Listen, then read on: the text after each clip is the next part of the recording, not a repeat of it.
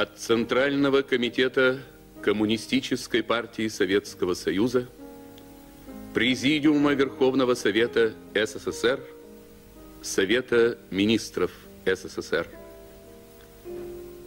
Центральный комитет Коммунистической партии Советского Союза, Президиум Верховного Совета СССР и Совет Министров СССР с глубокой скорбью извещают партию и весь советский народ после продолжительной болезни скончался президент СССР, генеральный секретарь ЦК КПСС Михаил Сергеевич Горбачев.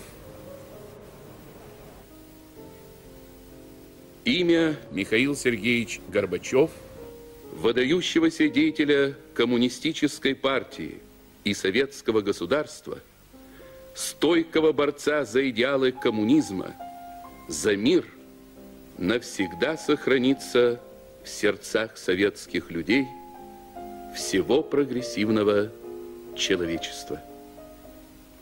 Обращение Центрального комитета КПСС, Президиума Верховного Совета СССР, Совета Министров СССР к коммунистической партии, к советскому народу.